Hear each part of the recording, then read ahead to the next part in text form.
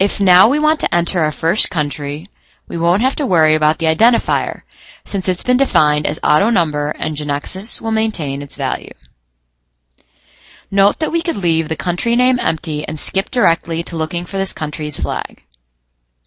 This should not be possible. We should not be allowed to enter countries without a name. So let's see how we can implement this.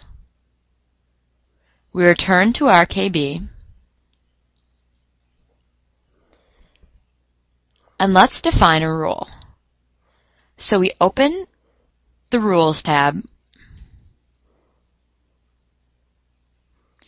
and we'll start defining what we call behavior rules. These rules will allow us to modify the transaction's default behavior. If we don't want to allow the insertion of countries without a name, we will have to declare an error rule. We add parentheses, and between quotes, we'll enter the text we wish to display when someone's entering a country without specifying a name for it.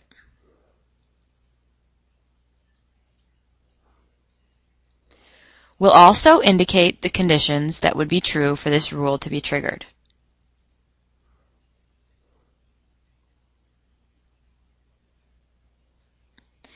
The condition will be if country name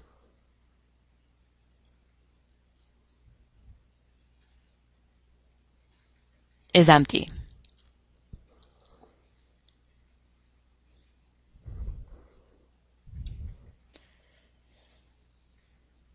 We save the changes and press F5. GeneXus then rebuilds and compiles our developer menu. Note that declaring this rule does not cause a reorganization since it's not a change that would imply a physical modification to the database. It's simply a change in behavior.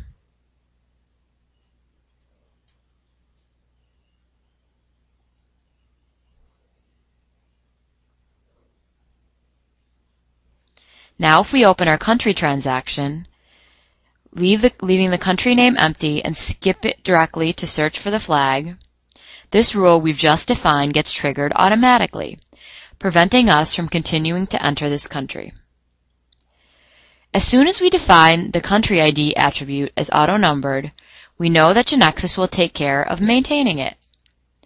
If we want to make sure the user can't enter a value, we could use the no accept rule. This rule would, would ensure that the user won't be able to enter a value for this attribute. Here it's asking us for the attribute name. We could just, just type it in, or we could use the option Control Shift A.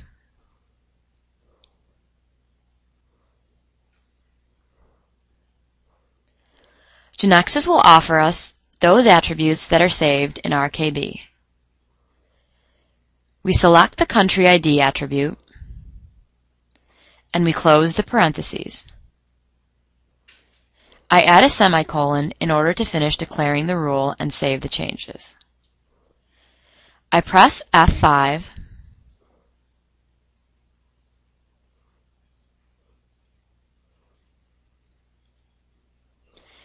and running our transaction again, we see that the attribute is disabled. If we wanted GeneXus to let us know when we are trying to enter a country without a flag, we could declare a message rule.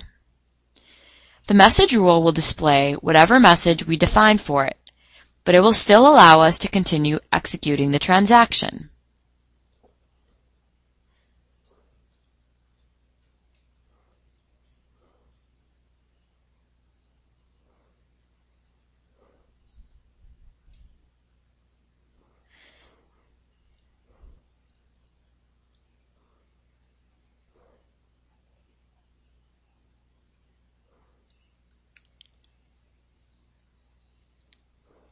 Note that we could also use the option Insert in the menu bar in order to directly insert rules we want to declare.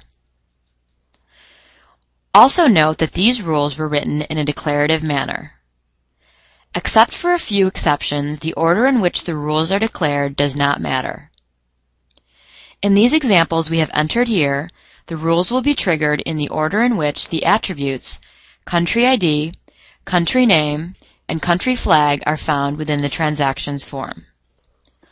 Since these are the attributes that are involved in the declaration of the rule,